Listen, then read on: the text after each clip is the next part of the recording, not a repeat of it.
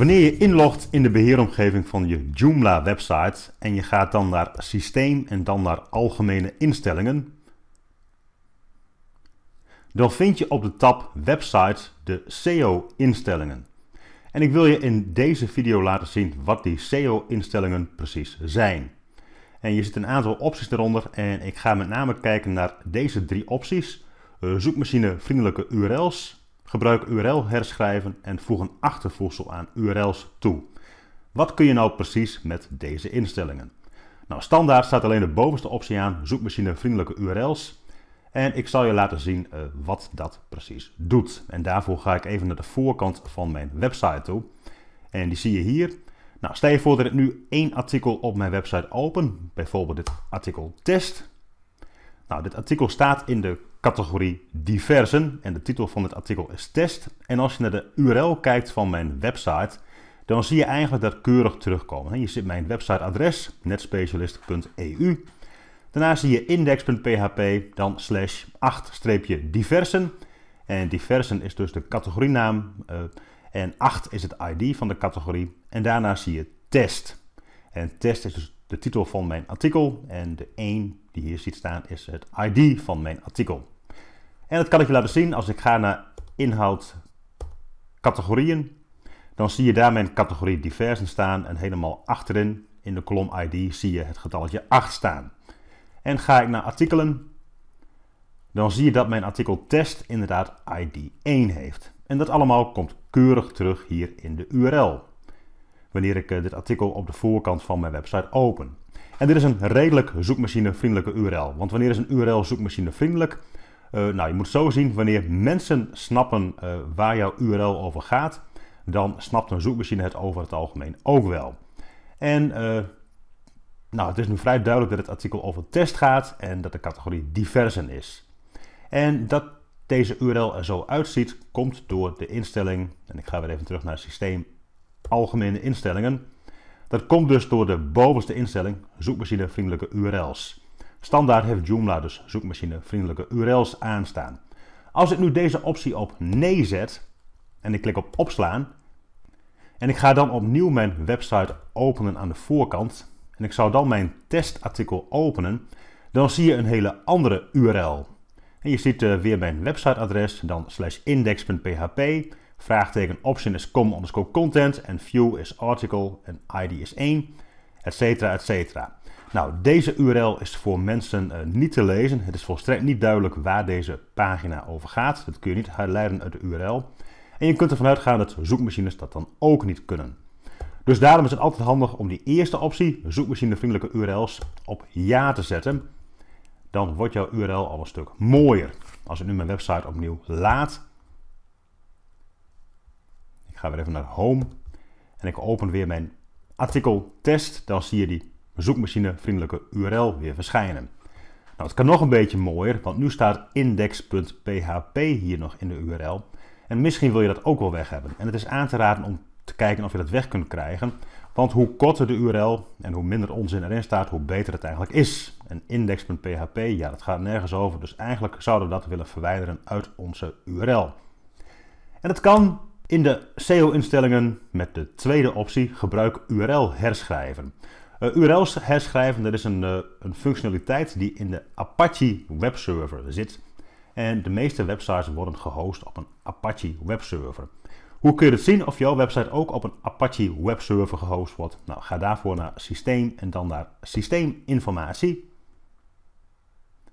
En dan zie je hier in de systeeminformatie het onderdeel webserver.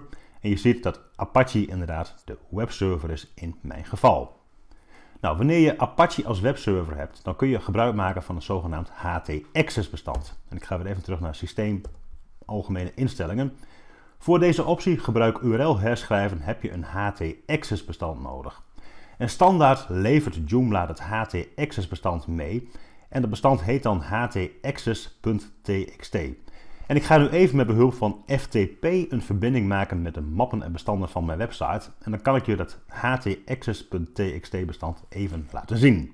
Nou, je ziet hier de mappen en bestanden van mijn website. En als ik helemaal naar beneden scroll, dan zie je daar het htaccess.txt bestand staan. Dit bestand levert Joomla dus mee. Alleen om het op een Apache webserver te kunnen gebruiken en om die mod rewrite of gebruik URL herschrijven optie aan te zetten, moet je dit bestand van naam wijzigen. Dus rechtsklik op het bestand, uh, kies dan voor hernoemen of naam wijzigen. Haal .txt weg achter htaccess en voor htaccess zet je een punt en druk dan op enter. De bestandsnaam wordt dus .htaccess. Uh, op een Apache webserver, wanneer een bestand met een punt begint, dan geldt het als een verborgen bestand. En nu het .htaccess heet, herkent uh, de webserver dit als een systeembestand waar mogelijk configuratie in staat. En een van de configuratie-items die Joomla erin gezet heeft is mod rewrite of gebruik URL herschrijven. En daardoor kun je dus die tweede optie in Joomla gaan aanzetten. Overigens, ehm, wanneer je het bestand hernoemt naar .htaccess en je ziet vervolgens het bestand niet meer, het is niet weg, alleen wat ik al zei, als het met een punt begint, dan is het een verborgen bestand. En het kan zijn dat jouw FTP-programma dan eh, dit bestand niet meer laat zien. Ga dan even in de opties van jouw FTP-programma. En ik gebruik hier de Fire FTP add-on voor de Firefox browser. En ik ga dus even naar geavanceerd.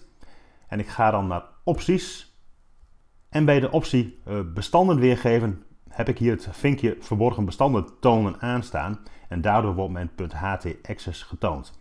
Als ik deze uitzet en ik klik op OK, dan zie je dat mijn htaccess bestand niet meer getoond wordt. Het is een verborgen bestand en ik heb nu in de opties ingesteld dat verborgen bestanden niet getoond mogen worden in mijn FTP-programma.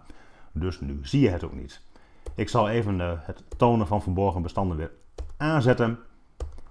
En dan uh, verschijnt mijn .htaccess bestand weer.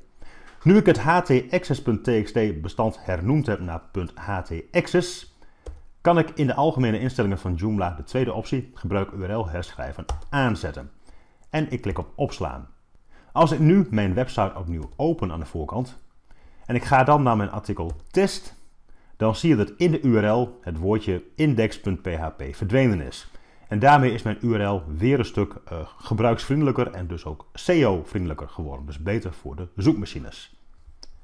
De derde optie die je ziet in de SEO-instellingen is deze. Voeg een achtervoegsel suffix aan URL's toe.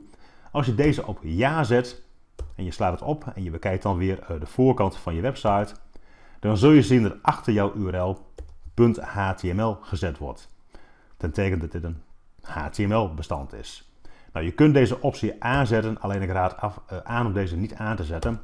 Uh, want ga er maar vanuit, hoe korter je URL, hoe beter het eigenlijk is. Dus ik uh, zet alleen de bovenste twee opties aan. Zoekmachine vriendelijke URL's en gebruik URL herschrijven. En dan zijn mijn URL's ja, prima. Nou, tot zover de SEO-instellingen in de Joomla in de Joomla algemene instellingen. Ik hoop dat je deze video nuttig en interessant gevonden hebt en ik wil je heel hartelijk danken voor het kijken.